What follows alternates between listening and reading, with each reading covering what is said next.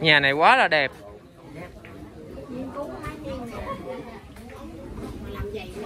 Xin chào các anh, các chú, các chị.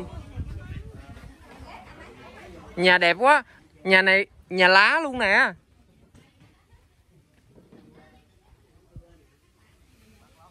Em chào anh. Ủa, thường anh bắt được con gì vậy?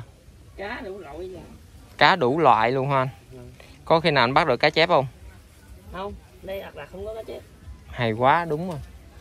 Ở đây là chỉ có con um, cá rô cá trê cá sặc đồ ha. Ủa anh con chim cò này là anh bắt hay là nó nó bay vô đây nó đứng chơi vậy?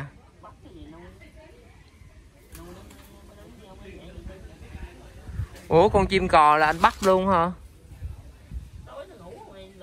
về cho nó ăn ăn bò à cho nó ăn ruồi phân bò nó ăn không anh? Ăn mấy người con bò lại nó ăn con ruồi rồi bình thường anh có cho nó ăn thêm gì nữa không? Ăn cá mới đặt cá ông tông vậy cho nó ăn. Vậy hả? ở đây có rái cá không anh? Không ở đây dễ gì có không đó. Dễ gì có con đó hả? Ừ. tại sao vậy anh?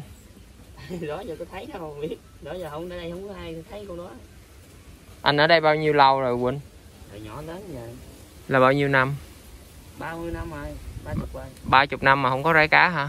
Không ở đây đâu có cái cá đâu. dùng đất của rái cá mà không có rái cá luôn. Trời má ơi. Rái cá tuyệt chủng rồi